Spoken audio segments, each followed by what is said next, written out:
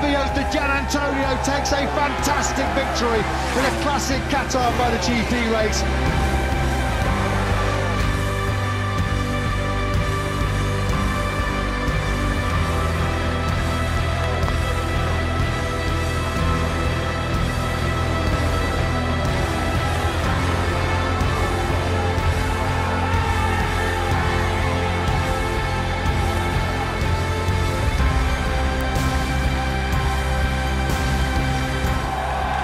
Moment that whatever happens in 2024, whether he's in MotoGP or not, Fabio Giannantonio will treasure for as long as he lives. Drink it in, Fabio. Diggia? Is a MotoGP winner.